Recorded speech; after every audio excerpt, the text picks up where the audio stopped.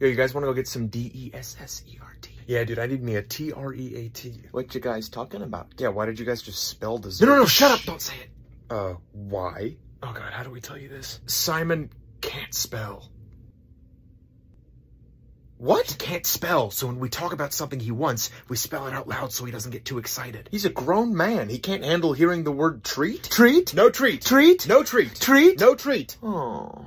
Okay, what is happening? We told you he gets excited when he hears the word T-R-E-A-T. What you talking about? Taxes. Oh, shucks. What, so you guys just treat him like a toddler? Treat? No treat. Treat? No treat. Treat? No treat. Oh. Dude, you gotta spell if you're talking about F-O-O-D. Okay, so are we getting an S-N-A-C-K? Snack? Oh, come on, Oh, man. dude, really? Oh, come on. I spelled it. Well, he knows how to spell snack. So he can spell snack, but he can't spell treat? Treat? No treat. Treat? No treat. Treat? No treat. God damn it! Okay, he's getting fussy. It's time for an NAP. Yeah. What does N-A-P spell? Party.